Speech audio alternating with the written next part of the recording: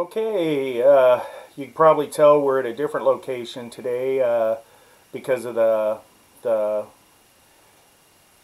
virus uh, epidemic going on. I'm doing this from the house. Uh, know it's kind of weird. Uh, forgive me because I got dogs all over the place here. I got a dog over here that's just sitting there apparently. Uh, cats and all sorts of things. So you may see them. Sorry. Uh, anyhow, this is for uh, CJUS 444. Uh, what I want to do is go over some of our related terms. I'm hoping you guys had a chance to uh, see the first video, kind of the expectations of the class. Uh, you, a lot of you guys have already turned in your white collar crime uh, definition papers. Looks like you all have a loose basic understanding of what white collar crime is. really, it's just those crimes that aren't uh, accomplished by any sort of uh, force or fear. Uh, by force, we even talk about like breaking into a, a warehouse or a home or using a weapon or something like that. Usually these crimes are built on trust. Uh, that's one of the things you're going to hear over and over and over again. Um, some of the related terms are going to be very important uh, in your understanding, and, and often they'll coincide with a, uh, white collar crime investigation. So I'm going to do this via lecture, and then uh, you guys should take copious notes. Uh, that way, when I give you your uh, quizzes online, uh, uh, basically it's going to be a question response type thing. You'll be able to respond to those appropriately. Otherwise, you'll have to sit there and watch the whole lecture while you're taking the quiz, and that would be a bummer. Okay? So anyhow, uh, some of the white collar crime related terms. These are uh, these are terms that uh, in crimes themselves that we deal with quite a bit uh, whenever we're doing any sort of investigations in what we call economic crimes.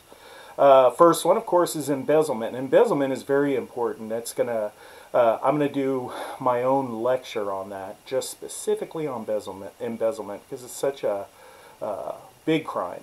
Okay. Um, the, the California Penal Code for embezzlement, if anyone's interested, is 503 of the Penal Code. That's not anything you need to memorize. Uh, but if you ever get a hankering to creep through or tiptoe through the, the California Penal Code, which is about four or five inches thick, then be my guest, 503 PC. Uh, basically, the fraudulent appropriation of another's property by a person who to whom it's been entrusted. That's the definition. Uh, what we're talking about here, it could be as, as small or minor as a liquor store clerk pulling 20 bucks out of the till and stuffing it in his pocket. Uh, that liquor store clerk is responsible or entrusted with that cash register. Uh, he or she taking a $20 bill out, putting it in their pocket, appropriating, appropriating it for their own use or means is a crime.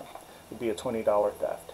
Okay, and it's actually a, a penalized in the same way theft is. So it would be a petty theft. Okay. Uh, the next crime we uh, often encounter is burglary. Now this is one that's kind of a pet peeve of mine. Uh, people don't understand what burglary really is. Uh, everyone thinks burglary is a theft. It's not really what it is. Um, it can be, can be a theft. But burglary, by very definition, uh, it's 459 of the Penal Code. Again, not anything you guys need to, to memorize. Uh, but every person who enters any house, room, apartment, tenement, shop, warehouse, store, mill, barn, stable, outhouse, or other building, tent, vessel, with the intent, that's the important part, with the intent to commit grand or petty theft or any felony, any felony at all, they're guilty of burglary.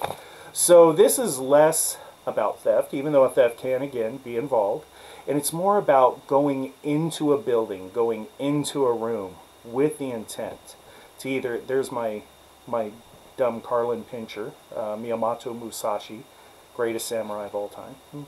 Um, anyhow, getting back on track here. Uh, imagine going into a liquor store and you go inside a liquor store and you see something really cool in there. I don't know what the heck, uh, just the most amazing tube of toothpaste you've ever seen in your life, and you just have to have it. but you didn't establish the intent to steal anything until you were inside. You steal that tooth, the toothpaste, you, you know, run outside. That is not burglary because you didn't have the intent before entering. Now, if you have the intent and you say, okay, we're going to do a beer run, we're going to steal a whole bunch of uh, Zimas. No, you're going to have to look up Zima. Um, you steal a six pack of Zimas from the liquor store. If you had the intent before you entered, then that is burglary. Okay, now it could also be something very terrible. I enter a house, I break into a house to commit an assault, to commit a rape of all things. Um, something terrible like that, that could also be considered a first degree burglary, sometimes what they call a hot burg. Uh, and these are crimes we see quite a bit with white collar crime. Uh, we get it with our contractors, our, our fraudulent contractors. They'll oftentimes victimize elderly folks and they'll enter the home, uh, have them do up a contract, basically take their money. And we could talk about contractor fraud later, but if they, if they entered with the intent to commit this fraud, that is also not just the, the fraud and the elder abuse crimes, but also burglary. Okay? So again, uh, you want to make sure you understand the crime of burglary. It's not just theft. Okay. Um, also, just on a quick note, everyone says, I got robbed. Someone broke into my house and robbed me. No, they didn't. If they broke into your house and stuck a gun in your face and said, give me all your, your money, that is a robbery. If they break into your house while you're at work and take your Nintendo uh, 64, that is a burglary. Okay, much different. Okay. So anyhow, uh, let's get into uh, the the next crime is uh, quite common: theft by false pretenses. Okay. So theft by false pretenses, a crime is 532 of the Penal Code. Don't need to know that. But the definition is every person who knowingly and designedly, by any false or fraudulent representation or pretense, defrauds any other person of money, labor, or property, whether real or personal, real property often is like houses and things like that, uh, or who causes or procures others to report falsely of his or her wealth or mercantile character. So these are applications for credit. Okay?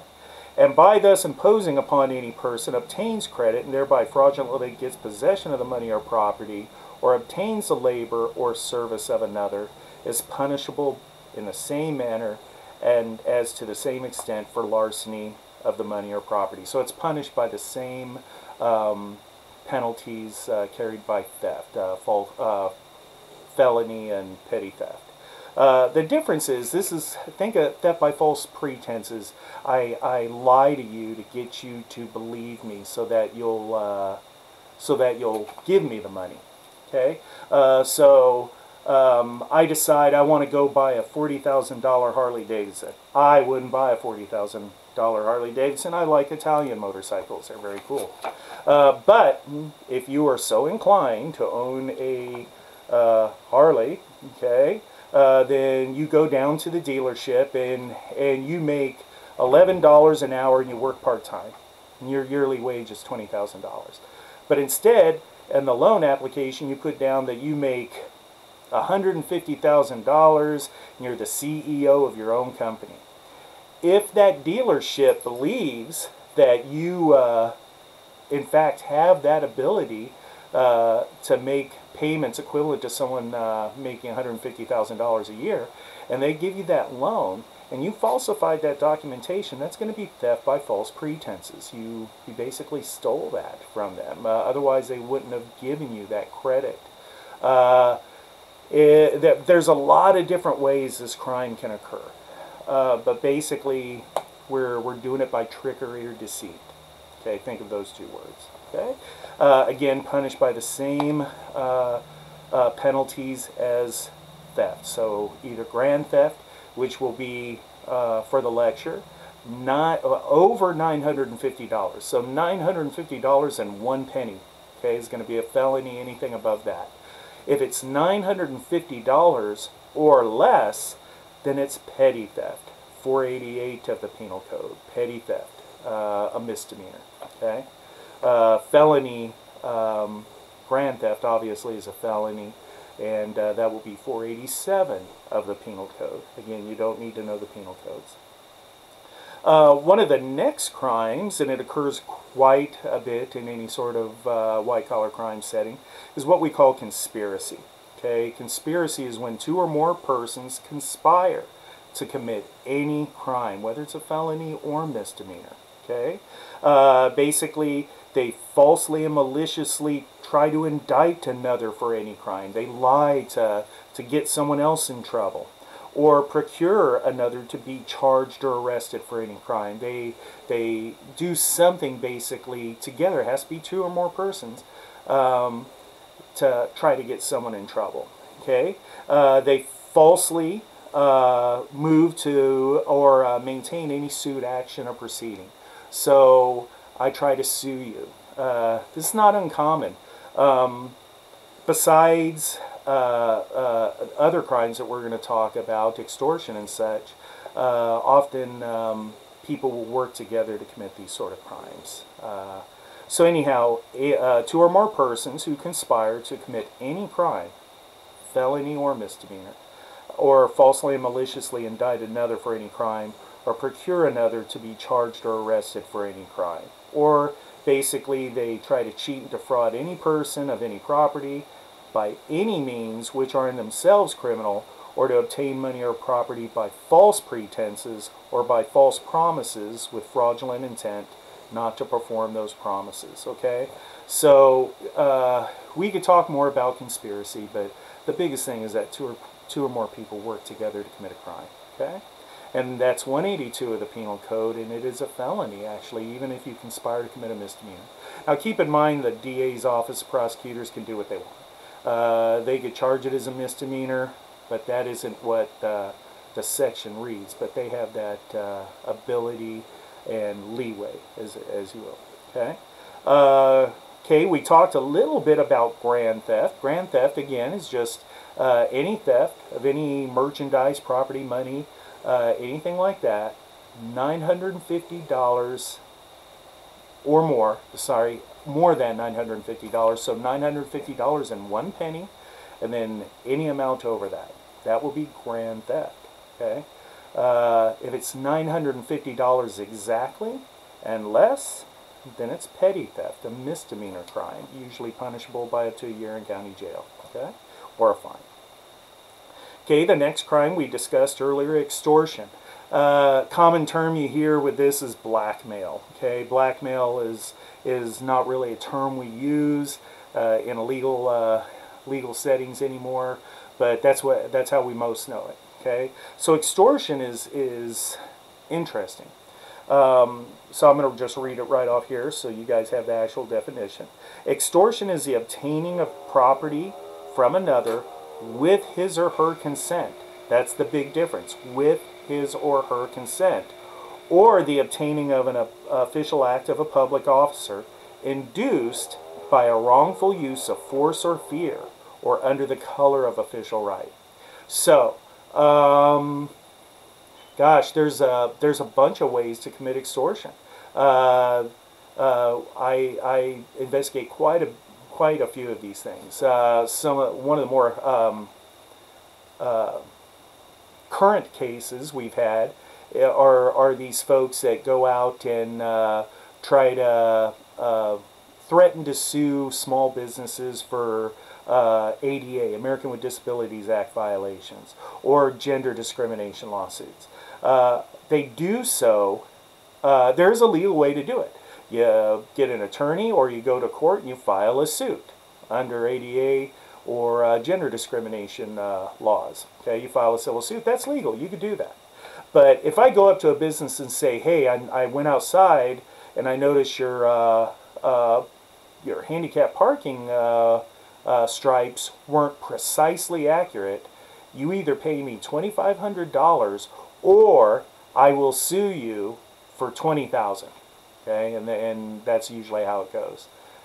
If they do that, that could be considered extortion because they're they're making the person believe that if they don't pay them, then they're going to be brought into court and sued. It would be legal and appropriate for them to just sue, just take them to court and do it. Okay. Um, there are other ways to do this, obviously. Uh, ransom, you know, is a common uh, theme. Um, basically, if you don't do this, then I'm going to do that. Okay? And that's how we obtain the money with their consent. Uh, we're not we're not necessarily putting a gun in their face and saying, "Give me your money."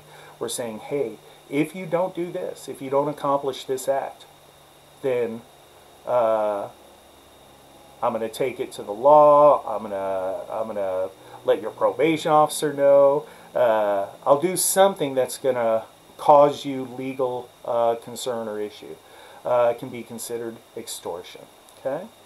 Uh, the next one is identity theft, probably the most popular and common crime on the planet Earth right now.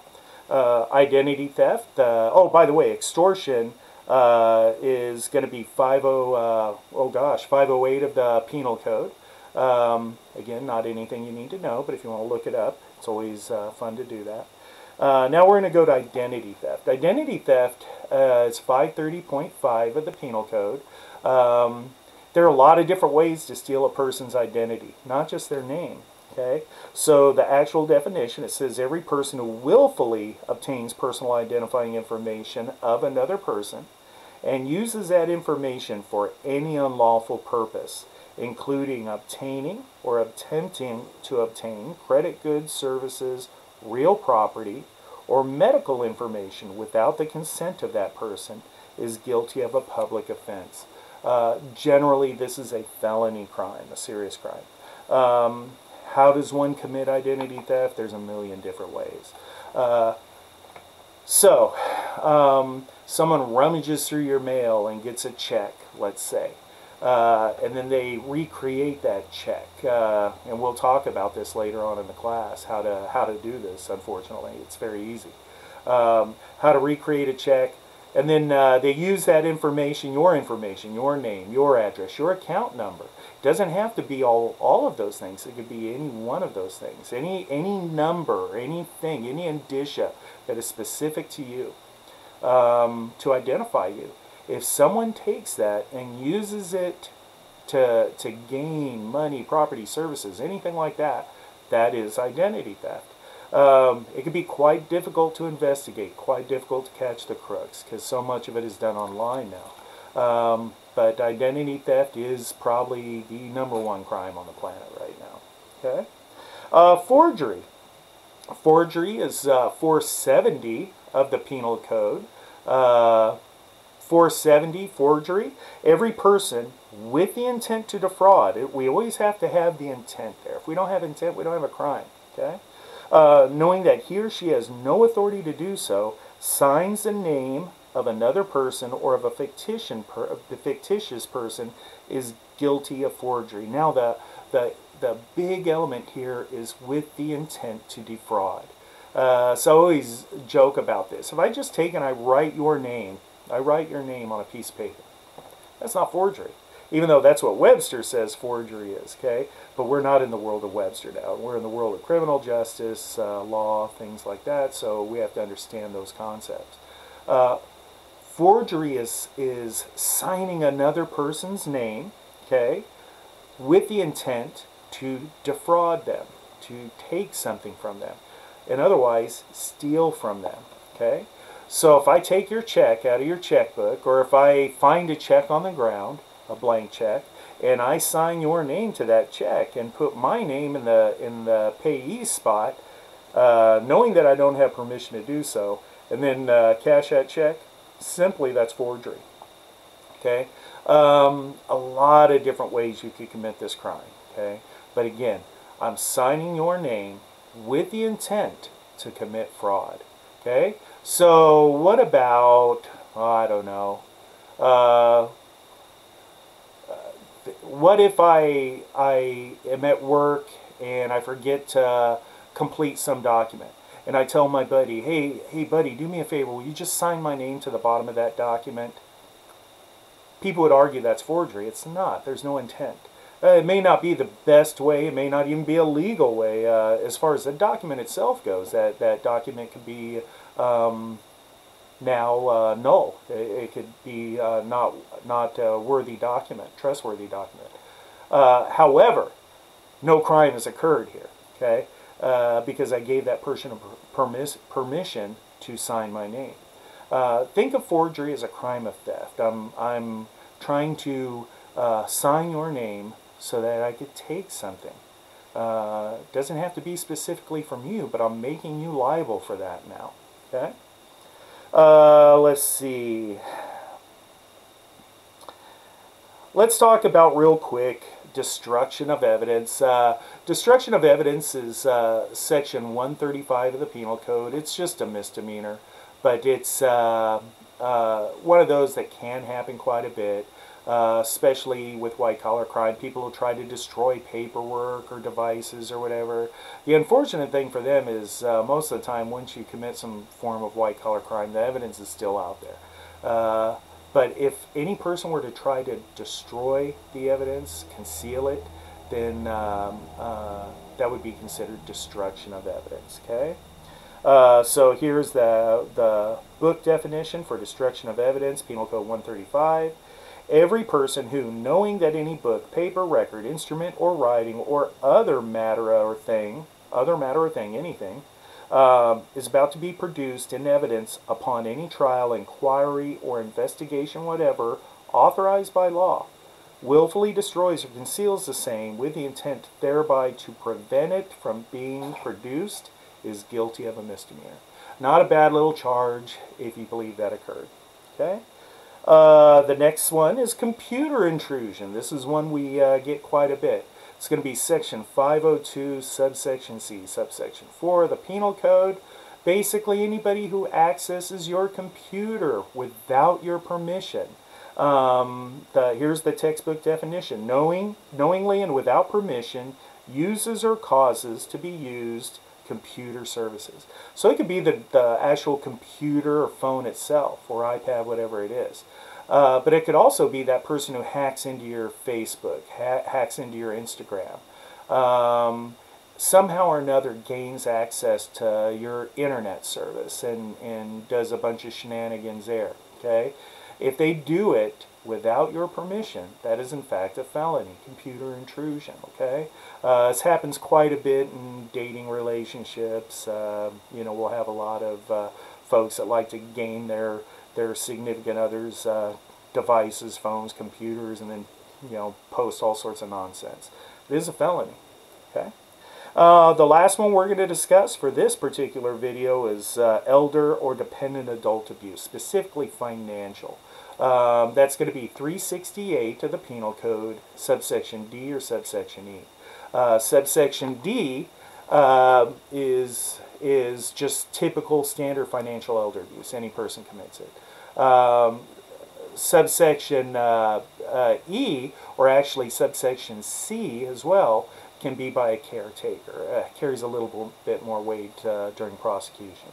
So any person who is not a caretaker who violates uh, any provision, loss, uh, prescribing theft, embezzlement, forgery, or fraud that we've discussed, or who violates any section prescribing identity theft, which we talked about, with respect to the property or personal identifying information of any elder dependent adult and who knows or reasonably knows uh, that that person is an elder dependent adult has committed elder abuse, financial. Uh, physical elder abuse, that's under 368A and B. Uh, we won't be discussing that for this class. Uh, but financial elder abuse is quite a big thing right now.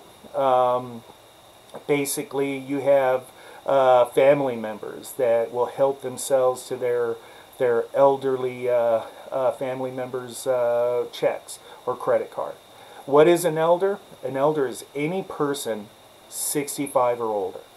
Any person 65 or older. Uh, just that in and of itself is enough to say that is an elderly person.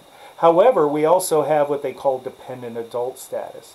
Dependent adult is any person in between the age of 18 and 65 who basically needs significant assistance with their daily care.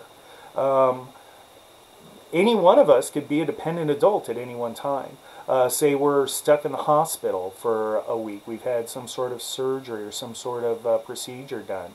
We're in a hospital bed recuperating. At that point in time, you are a dependent adult. You're unable to, to take care of your daily essential needs. So some, uh, I hate to say it, but some uh, hospital employee goes in and digs through your, your clothes, finds your wallet, steals your credit card. It's happened. Uh, and then uh, runs up your credit card. Besides the credit card theft that, that we'll discuss later, it could also be considered financial elder abuse or dependent adult abuse in this case. Um, a person who perhaps is developmentally disabled to a, to a level where they can't care for their, their daily essential needs. They could be considered a dependent adult. Um, so anyhow, uh, I just wanted you guys to get uh, familiar with some of these general terms because we will be discussing them throughout the course. Um, I know it's a lot to hit you with. Uh, I will be picking several of these and uh, giving you guys basically uh, a quiz on on you know some some of them, not all of them, uh, but we'll be discussing them later on in class. Uh, and again, I'm going to do a uh, specific video on embezzlement because embezzlement is just so significant right now. Um, anyhow, that's it. Make sure you guys take good notes. I'm sorry if I spoke really fast, but you can always replay it. Okay, and uh, thank you for bearing with me, and uh, we'll uh, we'll have the next lesson to you uh, very soon.